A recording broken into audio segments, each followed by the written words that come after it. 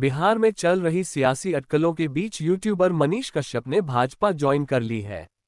वह अपनी माँ के साथ दिल्ली पहुँचे थे, जहाँ उन्होंने भाजपा कार्यालय में मनोज तिवारी और संजय मयूख के सामने पार्टी की सदस्यता ग्रहण की। होम, पहले बिहार के यूट्यूबर मनीष कश्यप को लेकर बड़ी सियासी अटकलें सामने आ रही थी।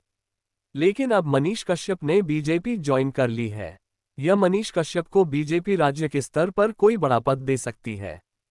वहीं इन गहमागहमी के बीच खुद मनीष कश्यप ने एक भावुक पोस्ट कर दी है मनीष कश्यप ने अपनी माँ के साथ एक पोस्ट डाला है by Sanjeev Kumar, edited by Sanjeev Kumar publish, Thursday Thursday the 25th of April 2024 1:17 p.m. IST updated Thursday the 25th of April 2024 1:31 p.m. IST Bihar के यूट्यूबर मनीष कश्यप ने भाजपा की सदस्यता ग्रहण कर ली है ए नाई, पटना, नई दिल्ली।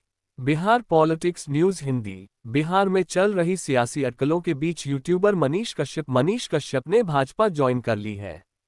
वह अपनी माँ के साथ दिल्ली पहुँचे थे, जहाँ उन्होंने भाजपा कार्यालय में मनोज तिवारी और संजय मयूख के सामने पार्टी की सदस्यता ग्रहण की। बीजेपी ज्वाइन करने के बाद क्या बोले मनीष कश्यप? बीजेपी ज्वाइन करने के बाद मनीष कश्यप ने कहा कि इन लोगों की वजह से ही मैं जेल से निकल पाया और मेरे जीवन के बुरे दिन खत्म हो पाए, इसलिए मैं भाजपा में शामिल हुआ। बिहार को मज़बूत करना है। भाजपा के साथ मिलकर अब मैं बिहार को मज़बूत करूँगा। मनोज तिवारी ने मनीष कश्यप की तारीफ़ की। यूट्यूबर मनीष कश्यप के भाजपा में शामिल होने पर भाजपा नेता मनोज तिवारी ने कहा कि मनीष कश्यप जैसा व्यक्ति जो जनता के सरोकार को उठाता है, वो भाजपा के साथ है। मैं मनीष को जानता हूँ, वे गरीबों का भला चाहते हैं और गरीबों का भला करने के लिए वे पीएम मोदी के साथ जुड़े हैं। हम उनका बहुत ख्याल रखेंगे और सम्मान करेंगे। बुधवार से ही चल रही थी सियासी अटकलें।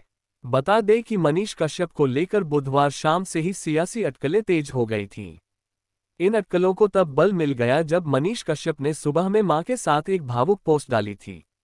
इस पोस्ट में मनीष कश्यप ने लिखा था कि बहुत दिनों बाद माँ के चेहरे पर खुशी नज़र आए माँ खुश है तो सब कुछ एकदम सही हो जाएगा।